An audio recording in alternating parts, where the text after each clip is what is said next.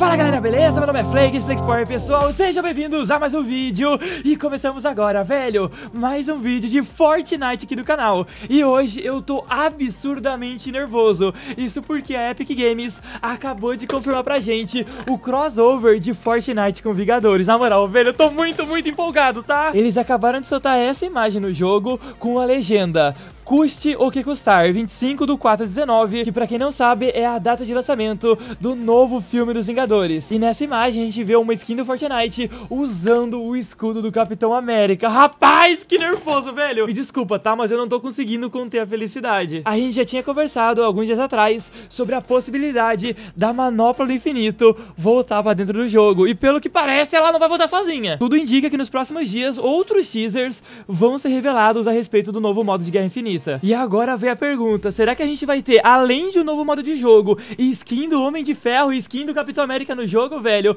Mano, na moral, eu ia colocar tipo 100 mil V-Bucks pra comprar tudo. Se por acaso você ainda não for inscrito no canal, se inscreve aqui embaixo agora, velho. Porque assim que a Epic lança mais notícias sobre isso, eu vou estar tá trazendo o mais rápido possível aqui pra vocês no canal, fechou? E se por acaso você for fazer qualquer compra na loja de Fortnite, eu te convido a vir fazer parte da família de apoiadores aqui do canal, tá? O Thanos agradece. Para isso, é só você ir lá embaixo, apoiar um criador, escrever o código Flakes e clicar em aceitar. E só para acalmar vocês, eu já escolhi os 5 apoiadores sortudos que vão ganhar aí 13.500 rebucks de Páscoa. Só que eu tive um probleminha e eu só vou conseguir anunciar amanhã, tá? Mas fica ligeiro que amanhã sai o resultado. Então agora bora pro jogo, porque eu tenho mais uma parada inacreditável para mostrar para vocês em relação às runas alienígenas, beleza? Agora bora lá então, velho, se prepara, tá? Porque hoje eu vou aqui com vocês, aqui na Via do Varejo, em busca de não só mais uma mega vitória aqui no Fortnite, Fortnite, mas hoje a gente tem muita coisa pra colocar em dia em relação às runas alienígenas que estão espalhadas pelo mapa, fechou? Só que antes disso eu peço licença rapidinho, só pra eu tentar limpar a cidade e logo depois disso a gente volta a conversar, infelizmente. Ai, ai, ai, ai, bodega, velho, o que, que foi que aconteceu, rapaz? Onde esse cara apareceu? Olha só, eu, eu não entendi qual foi a dele, tá? Eu, eu, realmente não saquei. E eu tô com a impressão que aqui na parte de cima tem mais um tapado. Mano, aonde esse cara tá indo? É impressão minha, o cara tá na parte de baixo da casa. Não. Tá bom, o cara tá na parte de cima. Eu só não faço a menor ideia como que ele foi para lá. Ah, eu tô vendo ele. Ai, que bonitinho. Ele tá ali do lado da porta. É uma banana, velho. Ai, que banana bonitinha. Toma essa bala, essa banana tosca. Ela ia tentar me matar na trap. Tipo, porque ela não tinha arma nenhuma além da trap, tá?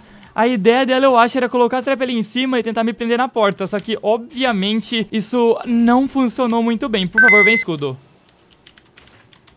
Não existe nada melhor do que tu pedir alguma coisa e o jogo realmente colaborar e dropar exatamente o que tu pediu. E eu nem vou perder muito tempo, eu já quero rushar no pessoal, tá?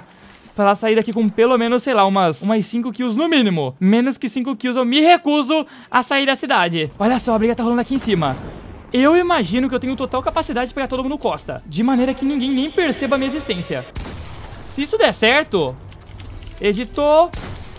Da onde tu apareceu, velho? Caramba, que tapado. Pera lá, eu fui meio besta. Eu quase caí na trap do cara. Isso, isso realmente foi muito perto. Mas eu pulei um pouquinho antes dela ativar, tá? É impressão. O cara quer me matar de, de lança granada. Tu para com isso, eu vou... Eita!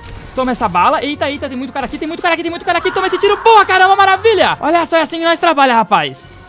É, eu sei que isso foi meio arriscado. Porque isso quase deu errado. Mas no fim deu tudo certo e eu, eu me encontro muito feliz. Em vez de eu ter mais um cara chegando aqui. E aí, meu parceiro? Olha só, esse cara é abusado, tá? Ele, pelo que parece, joga bem direitinho. E eu não sou bobo de vacilar com ele. Tu para com isso, rapaz! Tu para de se folgar pra cima de mim, caramba! Tá, a minha ideia era meter o pé, tá? Só que eu, eu, vacilei na edição e de qualquer forma eu matei ele e no fim é isso que interessa. Agora eu vou pegar o mapa do tesouro rapidinho, só pra ir à caça do vira-vira.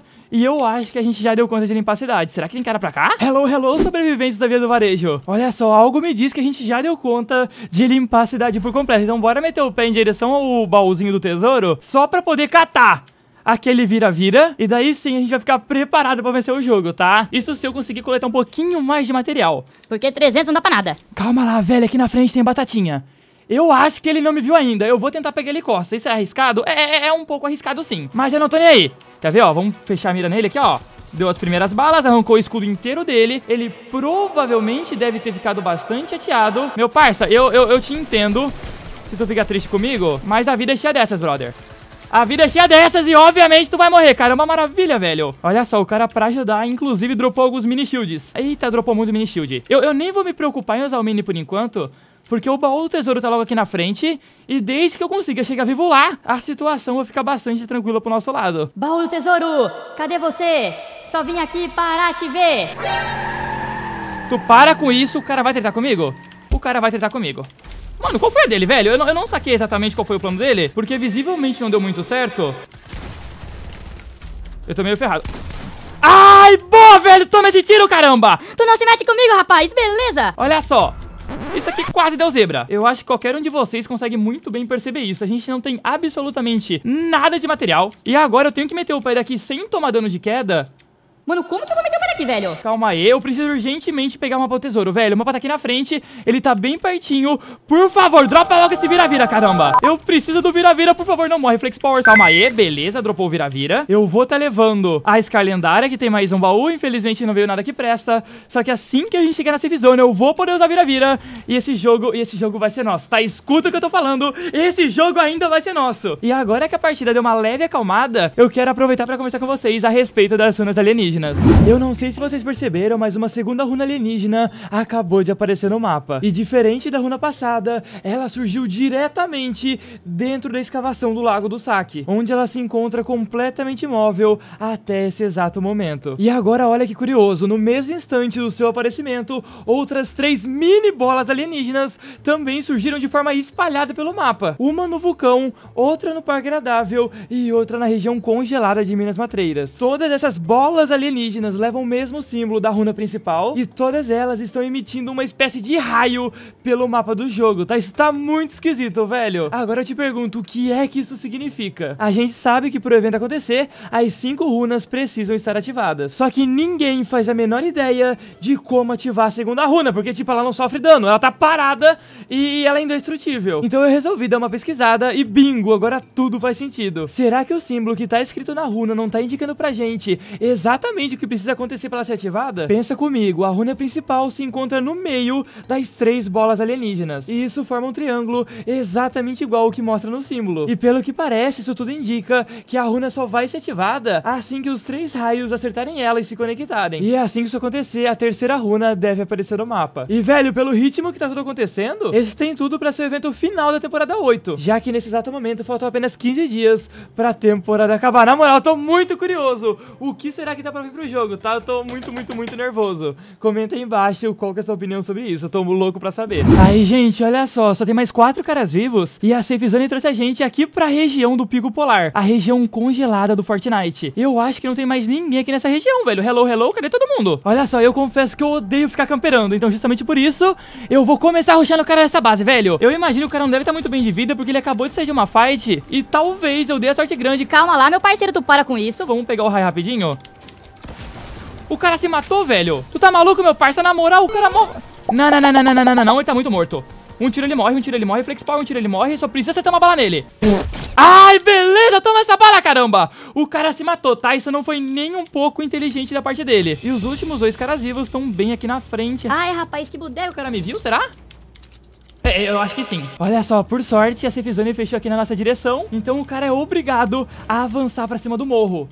Ou seja, ele vai ter que sair da base, caramba. Tu vaza daí, seu cagão. É, eu também vou ter que vazar, né, velho? O cara meteu o pé, eu nem percebi que bodega. Olha só, tá os dois aqui na parte de baixo. E aí, meu lindão, como que vai a vida? Toma esse peteleco.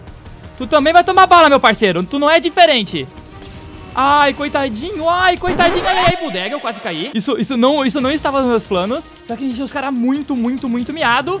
E justamente por isso, eu vou tentar dar uma avançada neles, fechou? O Flake Spore vai te matar. Olê, olê, olá! Um peteleco ele vai te dar.